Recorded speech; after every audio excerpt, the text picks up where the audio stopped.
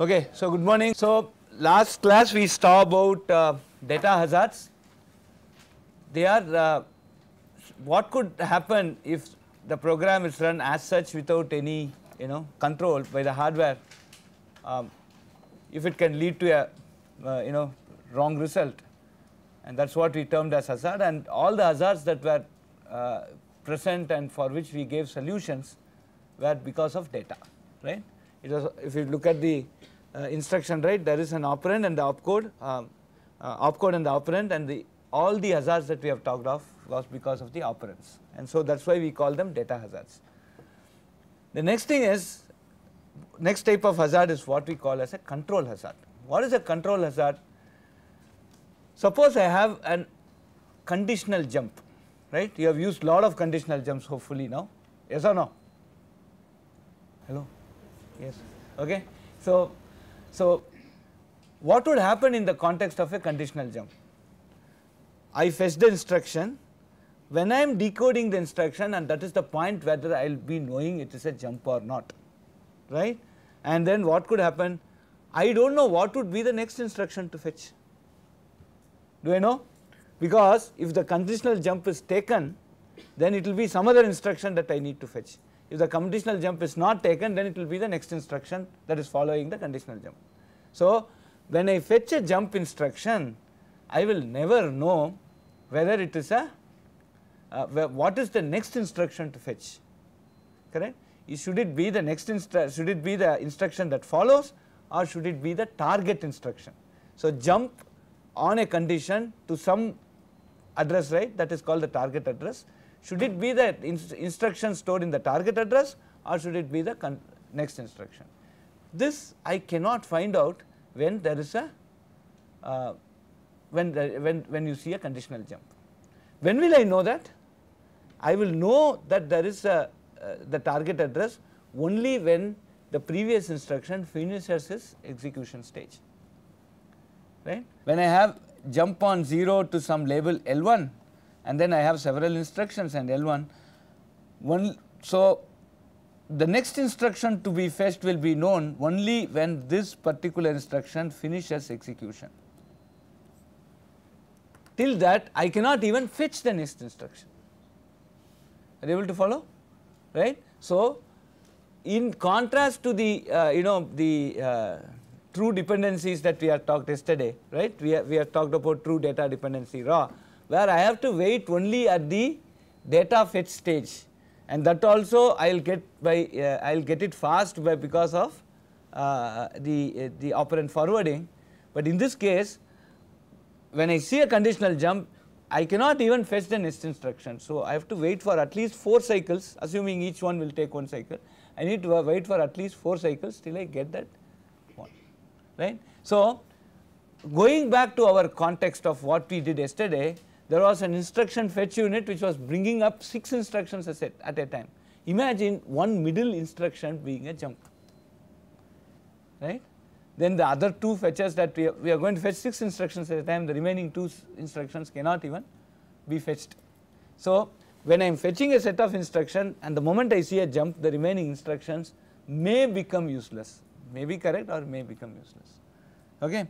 So, so the pipeline essentially is stopped or it is stalled because I see a conditional jump. And that is why this hazard the conditional jumps are called control instructions. And that is why this hazard is called a control hazard. Fine? Are you all able to follow? Right. Now what can we do? Every time I see a conditional jump instruction if I am going to wait for 3 cycles right and in a in a program you know there is a I think I have mentioned this in the previous class there is something called a 90 10 rule. 90 percent of the instructions will work only for 10 percent of the time will take only 10 percent of the time. There will be one core nucleus part of the program which will take 90 percent of the time. So there is an opposite 1090 it implies another 1090 rule where 10 percent of the instruction will take 90 percent of the time okay. So how will 10 percent of the instruction take 90 percent of the time? There will be some loops. There will be conditional control statements which will make it repeatedly execute. So and your you take any program except hello world okay? Right? Every program will have an if if else statement while statement for statement right any sensible program which does even simple finding the uh, maximum of two numbers will have an if statement. Okay? So so there will be lot of control statements and inside a program. Right? So when i take the profile or what you call as the execution trace please note this word this is a very important word. Execution trace of a program. Execution trace is not the assembly program listing execution trace is what are all the instructions that are executed from the start of the program till the end of the program. So there will be some 10 percent of the program which will be repeated lot of times right. So I start the program which address is executed which instruction is executed next next next next next next till the end of the program. So you will see many instructions repeatedly executed. So when you take the execution trace of the program you will see lot of such conditional branch and for every conditional branch if I am going to wait for 3 cycles then it becomes a nightmare. My performance will go for a toss. So I have to do something about this okay and that leads us to what we call as a branch prediction okay. Now we will go back to this mode please take notes. So what is branch prediction?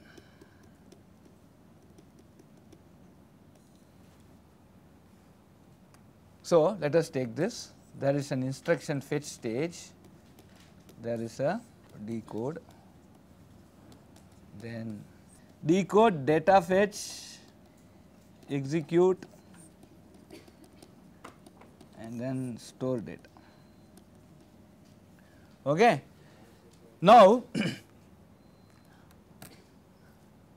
when i see a branch I want to go and predict what? What what will I predict about branch here? Will you get married or not married or what will you get? Huh? What will you predict about a branch? Whether it will be taken or not taken, correct? Right? So, I am seeing a conditional branch, right?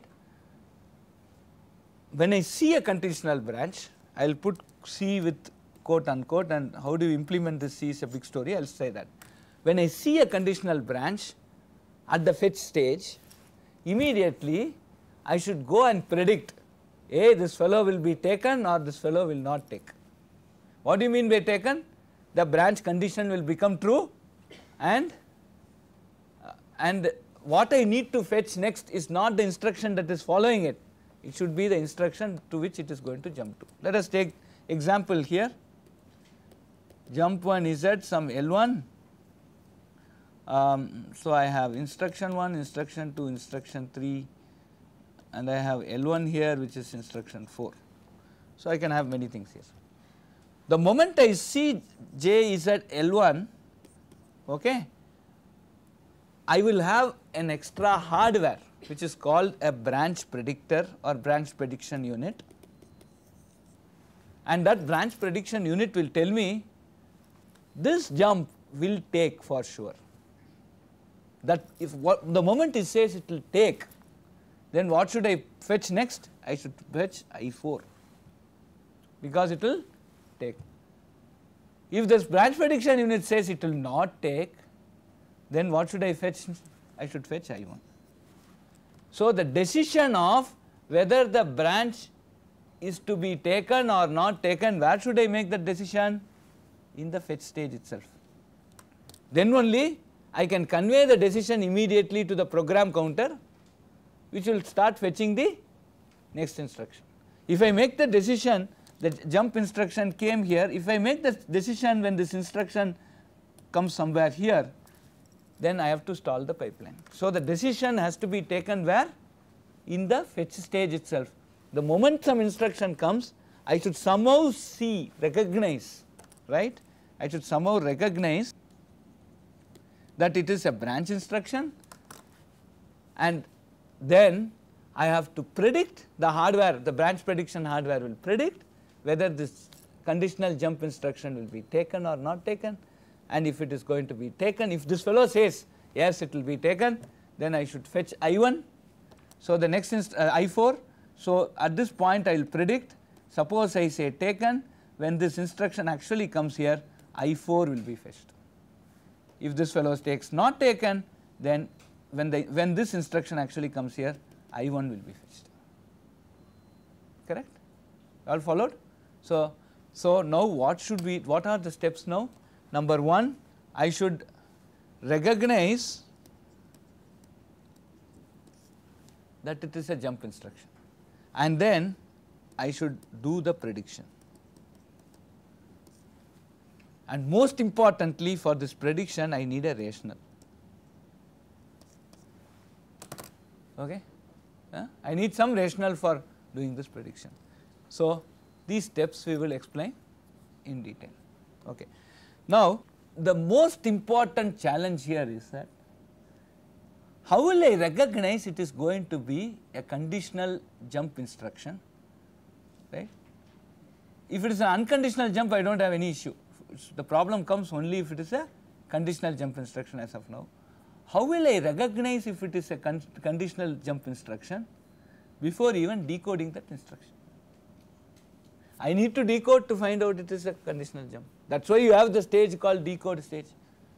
How will I even recognize that it is a jump instruction, conditional jump instruction before I decode that instruction? Is it an important question? Yes or no? Even before decoding the instruction, somehow I should find out that it is a conditional jump. How will I find it? I can't decode it at the fetch stage, forget it. And I can't do any special decode to find out if it is a jump instruction and all, okay.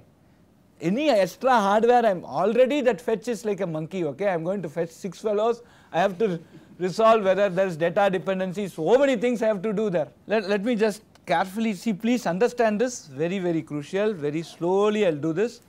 Now let us give some address 1000, 4005, 1006, 1007, 1000. Okay. Now we have some instruction.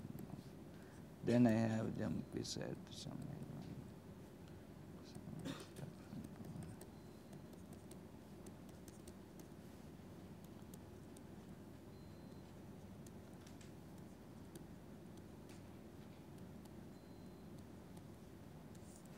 What is this structure uh, equivalent in C?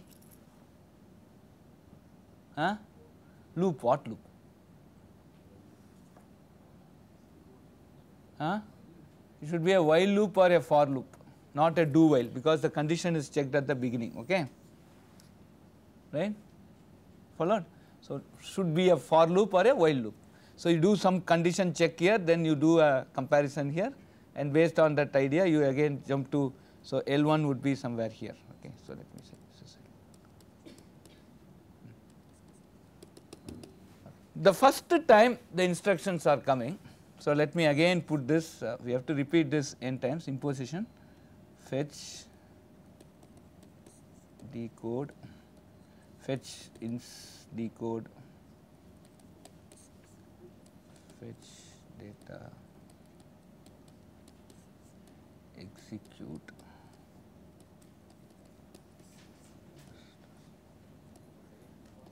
Okay. Now first I1 will be fetched, I1 will be decoded, I1's data will be fetched, I1 will be executed, right. Now jump will be fetched. First time, so 1004 will be fetched, when 1005 is fetched, please understand that I will not know it is a conditional jump. But the moment I come to this decode stage, here I will understand it is a conditional jump, right? And I will also understand where it has to jump. At the decode stage I will know that if this condition is true I need to jump at where? L1 that is 1011. At that point I will create what you call a, a, a content addressable memory. Yesterday we saw that right? CAM is also called associative fully associative memory. Both are same. Both FAM or CAM or synonymous. Fully associative memory. In this memory I will go and make an entry. At the decode stage first time I do not know. That is a jump. When the jump reaches the decode stage I know that it is a conditional jump. I am only handling conditional jumps. I am not unconditional jump. There is nothing to predict. Anyway it will be taken. Right. You all know what difference between conditional and unconditional jump. Correct. This is an unconditional jump there is no condition involved. If it comes here it will take. But only the conditional jump I have a doubt whether it will take or not take. Okay. Now the first time I see this condition, conditional jump I will store this 1005 with L1 the target address. In this case this is 1011 correct. I will store 1005 with 1011 this is actually also called as branch target buffer.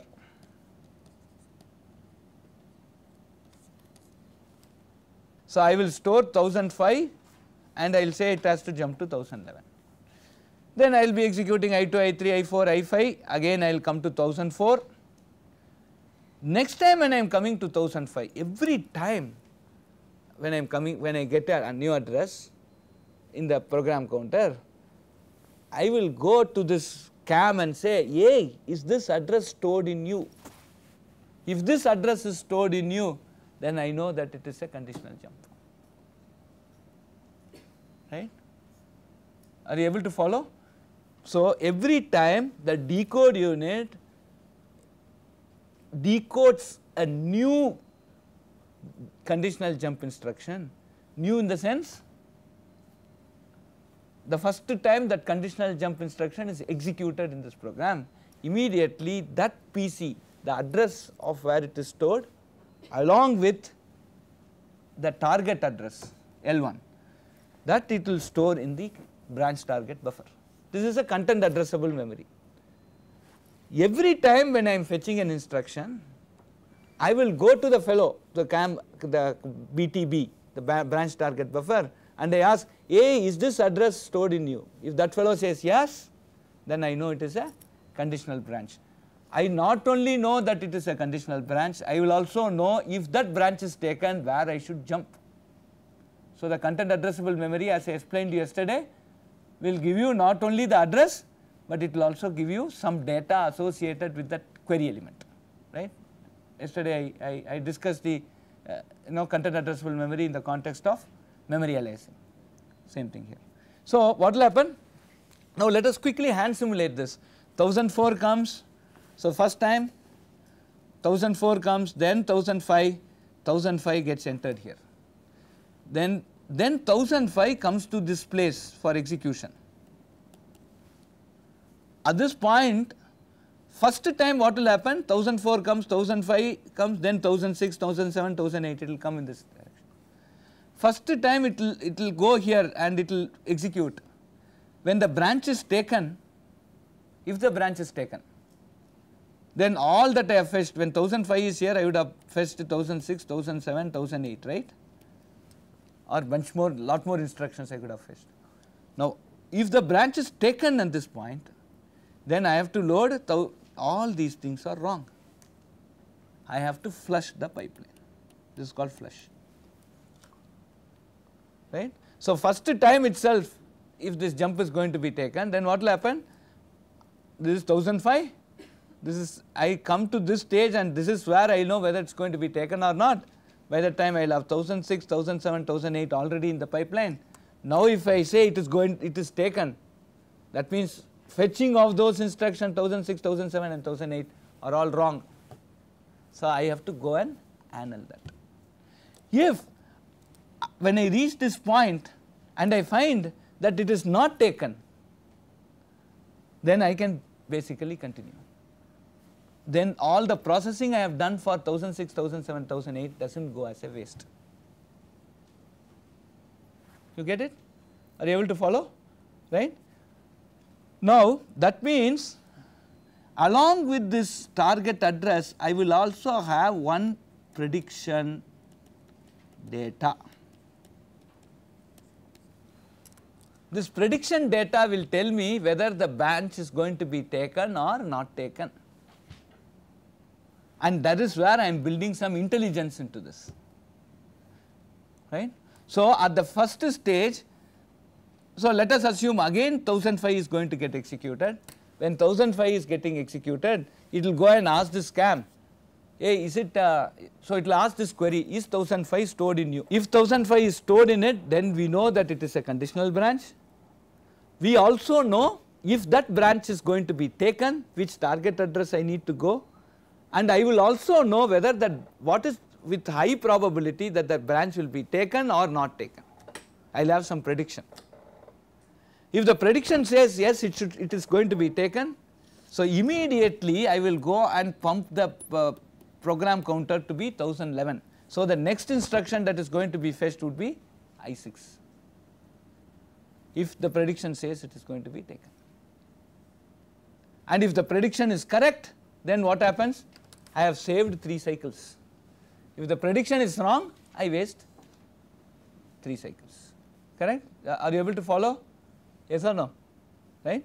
Similarly, so the, the this is the entire scenario. So what we have seen now is how will the fetch stage recognize that this is a jump conditional jump instruction, see that it is a conditional jump instruction.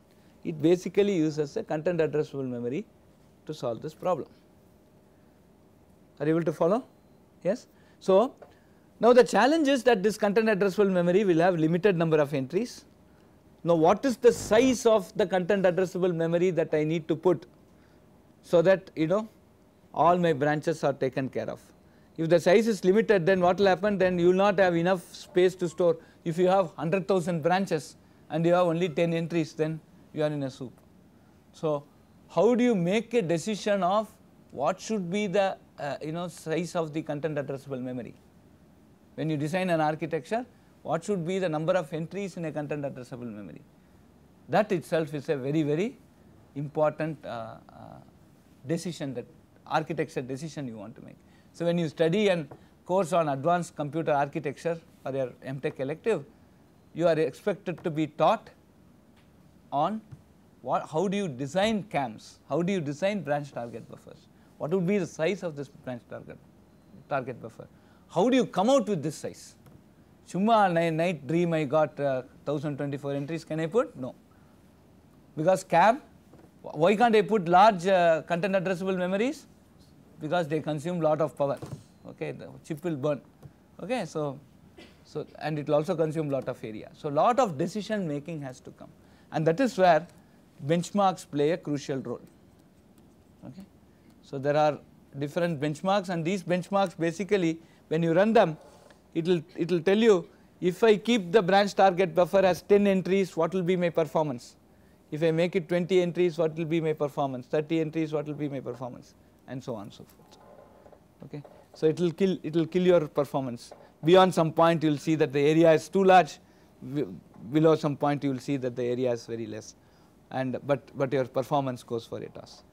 Please note that if for, if there are many many branches and ultimately your 1005 gets out of this CAM for some reason right? Then the next time when you bring 1005 it will not be recognized again this whole recognition problem has to restart and this branch target buffer will also need to have a replacement policy.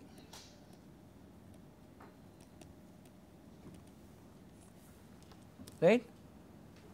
What is the replacement policy?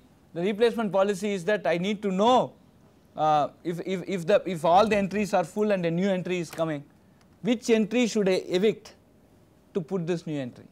I should make a decision of which, which entry should I read. So that we will talk about replacement policies in the context of cache in great detail, but there are a lot of replacement policies all these things I will cover post quiz 2 when we do the memory management of caches, cache, cache organization and cache design. Okay?